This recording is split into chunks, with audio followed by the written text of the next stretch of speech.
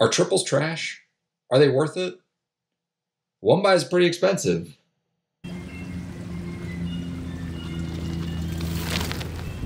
Why would anybody want a triple? They're cheap.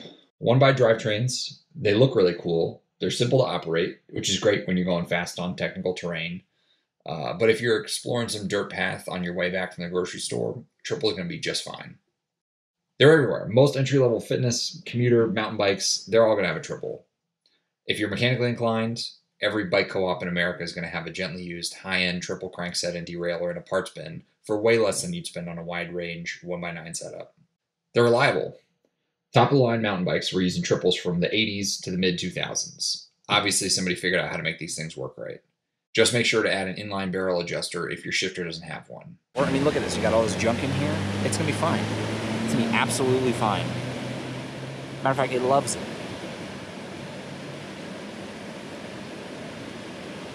It's a lot of stuff. It's a lot more than I thought it was, okay? The Shimano XTR M980 line came out in 2010, and they were still using mostly triples. XTR didn't drop the triple crankset until 2018. Who is going to steal this bike?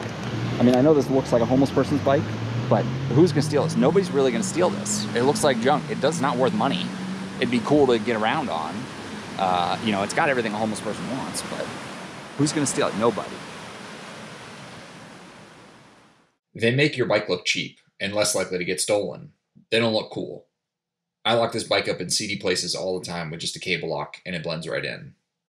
I used to have this bike set up with super wide gravel drop bars, a beat up Shimano Acera rear derailleur, a front Claris derailleur because the STI Brifters don't have the same pull ratio as a mountain bike front derailleur. I've since changed the setup and upgraded the drivetrain and shifters. I always felt like this bike was too slow since the drops put you in an aero position,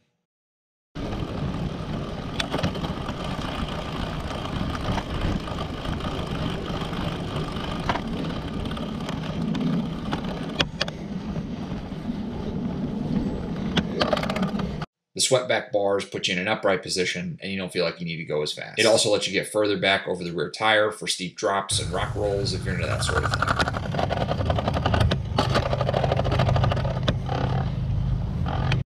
First and first, mostly, I don't think triples and STI brifters work well together. There's a small amount of trimming that you need to do to keep everything quiet. Brifters don't have the indicator like the older Shimano mountain bike shifters to tell you what gear you're in. So you end up just staying in the smallest chain ring, then shifting to the largest when you're in the top rear cog and you hear a bunch of noise the whole time. It's a nightmare. My advice is to only run a triple with mountain bike shifters that have an indicator. Secondly, if you're going to run a front triple derailleur, get a higher end one. Acera, Alivio, Altus, Claris, these are all going to drive you nuts. They flex too much when shifting, and it's tough to get it to pull the chain to the largest chain ring. Try and find a used 8 or 9 speed XT front triple, and you'll be delighted how crisply it shifts and how little trimming is required to keep everything quiet.